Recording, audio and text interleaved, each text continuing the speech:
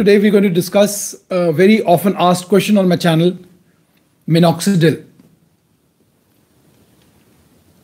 I get very frustrated at times when people talk so much about minoxidil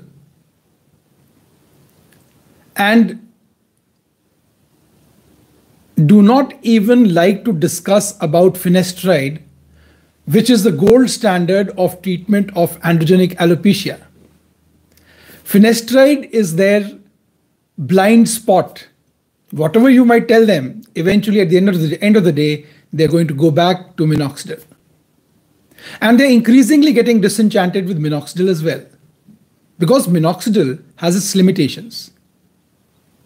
The basic cause of your hair loss when you're suffering from androgenic alopecia is that the DHT, which is a metabolite of testosterone, as we all know, acts in a, in a deleterious manner on your follicles. It makes your follicles shrink, miniaturize, cuts off the blood vessel, blood supply, and the hair fall off. Now, use of minoxidil is only to sustain hair as long as they are there, as long as they are not prey to the DHT, as long as they don't fall off. So minoxidil essentially, in basic language, just supports your hair, makes them look thicker, more bouncier, as long as they are there. So minoxidil does not prevent progression of baldness future hair loss. Well, that is the function of finasteride, a DHT blocker, and dutasteride, which is rarely used. So if we think that minoxidil is going to be the messiah of androgenic alopecia, well, you are uh, mistaken. You are being taken on the garden path. So uh, with, with that introduction, let us uh, talk about the problem with minoxidil. So first problem I've told you, the problem is that it's not a DHT blocker. But for patients who rely solely on minoxidil due to various reasons, minoxidil has the biggest problem that not everybody responds to, to minoxidil. And why does this happen? Minoxidil, when we apply it on the scalp, is converted to its active form, which will function and cause benefits on your hair. It is converted to minoxidil sulfate by an enzyme which is present in your skin surface, in your skin, called the sulfotransferase. And the concentration of this enzyme sulfotransferase, the body's expression of this enzyme sulfotransferase varies from individual to individual. And in some patients, it is so low that minoxidil, since it cannot be converted into minoxidil, trans, minoxidil sulfate, can does not uh, give benefit to patients, and they become frustrated because neither can they take finasteride, and nor is minoxidil benefiting them. It, as large as 40% of patients are non-responders to minoxidil for the simple reason that the body does not express enough sulfotransferase enzyme for minoxidil to be converted to its active form, minoxidil sulfate. 6 out of 10 people only respond to minoxidil because they have sufficient amount of sulfotransferase to convert minoxidil into minoxidil sulfate. And this is the conundrum that most patients who rely on minoxidil face when they're tackling the hair loss. And in this light,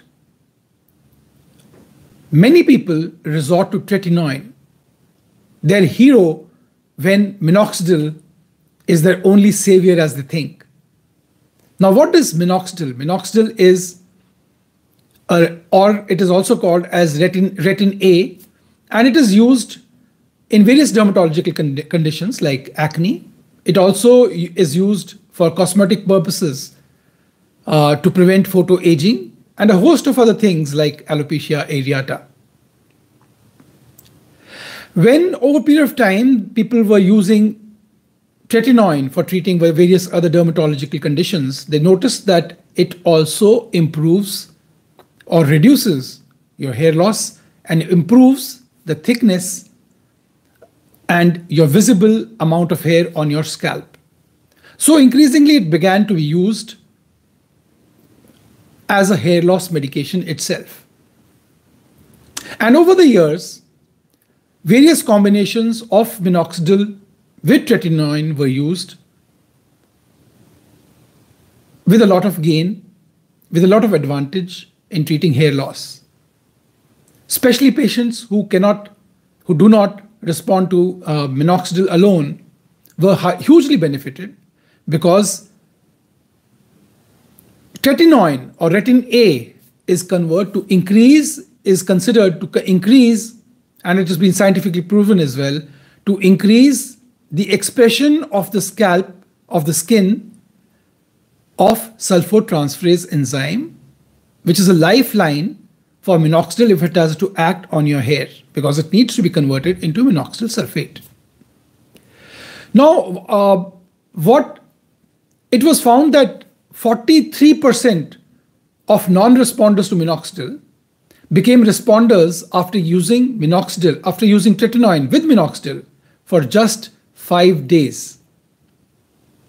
Now, how does retin A or tretinoin act?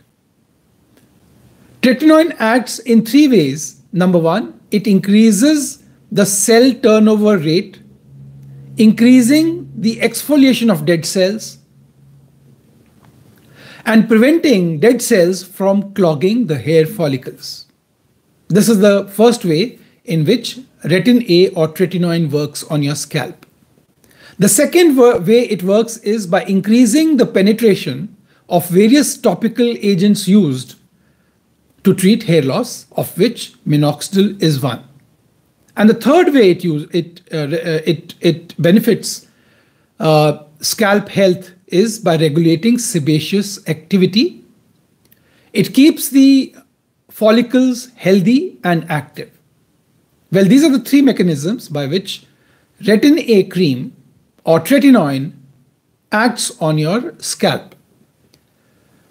And then we come on to the correct dosage of retinoid A, retin A cream, tretinoin for treating your hair loss. Well, when you're just starting off or when your sca scalp is sensitive, 0.025 to 0.05% of tretinoin is the dosage one should start with. Start it once at night on alternate days.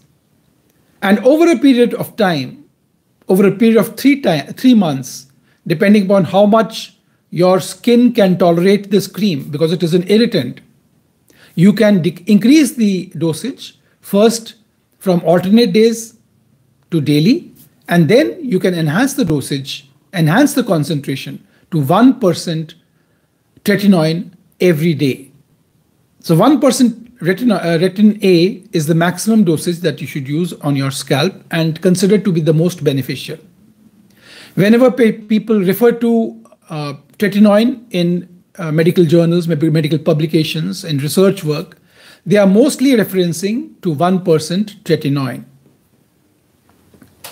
So then we go on to uh, the various studies which have been done, uh, which prove that uh, a combination of minoxidil with tretinoin is beneficial. The first study that was done, the landmark study in 1986, showed that a combination of minoxidil with tretinoin, 0.5% minoxidil with 0.05% tretinoin showed significant hair growth compared to either of these two treatments taken alone. And then there was another study which indicated that men using 0.1% tretinoin cream saw a 16% increase, increase in their hair density over a three month period. And the third study, done in women who were suffering from alopecia areata, who used 0.025% tretinoin, resulted in 19% increase in their hair density. And these findings highlight how the, a combination of minoxidil with tretinoin is beneficial in hair loss treatment. And this offers new hope to individuals who have been using minoxidil for a long time, who cannot use finasteride due to various reasons, to use minoxidil and become and and to use minoxidil gainfully, optimally by combining it with retin A because of the simple reason that retin A cream or tretinoin increases the expression of sulfotransferase enzyme in the scalp. And this is the enzyme which in 40% of individuals is lacking.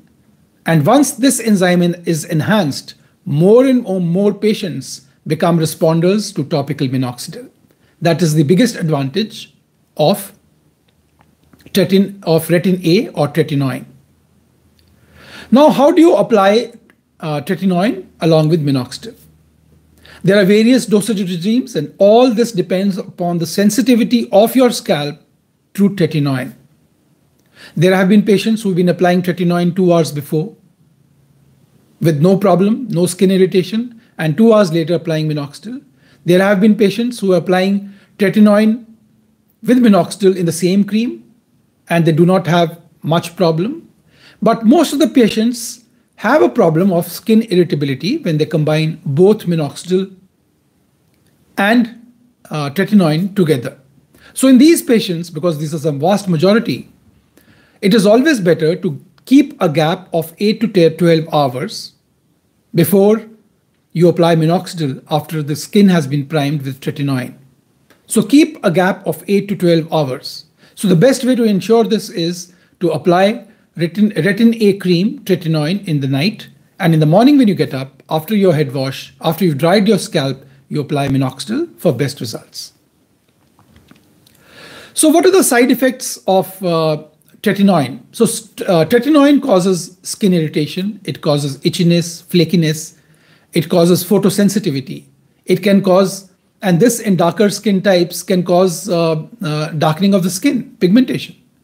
So whenever you're using tretinoin, especially Indian skins and the darker skin types, always use a, a, a, a skin a, a, sunscreen lotion with uh, with SPF more than 30. Also, when you're using tretinoin, use mild conditioners, use mild shampoos, and you can use moisturizing agents as well. And we all know the uh, side effects of minoxidil, they're well known. It also causes itchiness, it causes flakiness. Uh, many times it causes palpitations if you use too much of it, and it can cause unwanted facial hair growth if it spills on your face. So these, this is the uh, combination of minoxidil with tretinoin, best used efficaciously if you take the advice of your doctor, because he only will know how much sensitivity your skin has, how much scalp skin has. So use it uh, optimally, use it efficaciously under the guidance of your doctor. And if you have any question about tretinoin, about minoxidil used together, leave a comment in the comment section below and I'll always get back to you.